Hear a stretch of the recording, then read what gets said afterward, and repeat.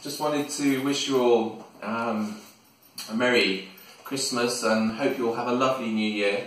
Sorry I haven't uh, uploaded recently. I did have a few technical issues.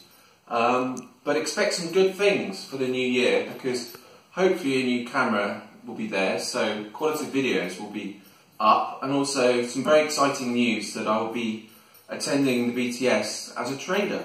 So if anyone's looking to, to breed, you can find me on uh, uksingles.net.